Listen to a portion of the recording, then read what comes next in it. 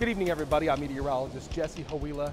Uh, we want to give you the latest update on Ida, still a Category 3 hurricane with winds of 115, so it's on the cusp of being downgraded to a Category 2 very soon, doing some serious damage and some serious issues to New Orleans. In fact, we're going to get to a power outage map here in just a second. The entire city of New Orleans reported without power. The only thing that is providing power to some are generators. So the really the bulk of the, the worst of what's come to come for New Orleans is happening right now. There's Hurricane Ida's center just west of the city. Boy, I got awfully close, and this is the dangerous side of the storm.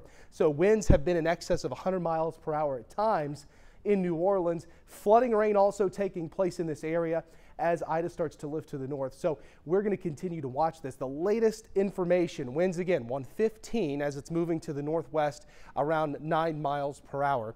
Uh, winds, uh, again, it's 45 miles to the southeast of Baton Rouge. Let me show you this. Let me show you this power outage map across that area. So all of that red, essentially, again, the entire city of New Orleans has no power.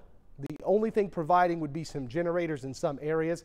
And we have some live shots to show you of dark New Orleans now. So uh, you can see a couple of lights here and there, uh, but really the entire city powerless as those 100 plus mile per hour winds move through New Orleans and continue to do so. Wind gust uh, right now around 80 miles per hour. There's kind of a, a, a view that shows you how breezy it is uh, in New Orleans right now. Again, gust around 80 this is still a category three storm. This is expected to be downgraded to a two by the next hour, then a one overnight, 75 mile per hour winds by one o'clock, then a tropical storm tomorrow morning. North Texas, we're on the backside of this. It's just going to be hot and dry over the next few days.